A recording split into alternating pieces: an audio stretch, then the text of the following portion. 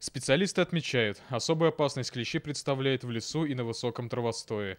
На данный момент существует большое количество проверенных химических средств защиты для людей и животных, которыми также советуют пользоваться врачи. Последние два года на рынке химических препаратов появились таблетированные формы. Присасываясь, клещ начинает пить кровь животного, и в значительных количествах этот препарат с кровью животного попадает в клеща.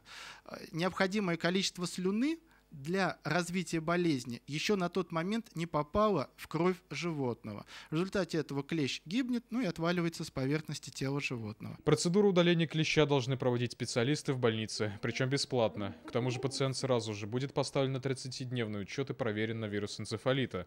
Следует также обратить внимание на домашних животных, у которых могут возникнуть характерные симптомы заражения этим вирусом. Это является угнетение состояния животного, как я уже сказал ранее, высокая температура тела.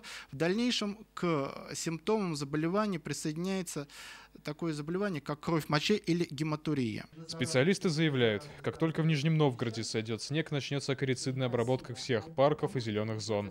В загородных детских лагерях обработка будет проходить до начала оздоровительного сезона. Павел Кузьмин, Ренат Бигбаев, объективно, ННТВ.